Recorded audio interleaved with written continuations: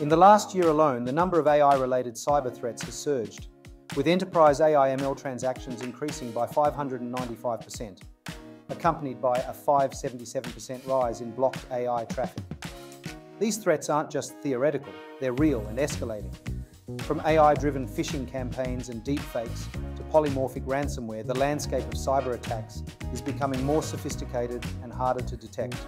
As John G. Dryden, I'm at the forefront of this evolving battlefield, providing critical insights into protecting organisations from these advanced threats.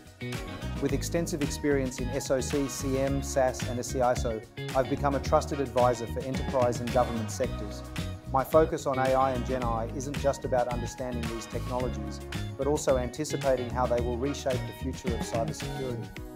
Connect with me on LinkedIn and X for real-time updates and dedicated solutions to your cybersecurity challenges. Let's stay ahead of the threats together.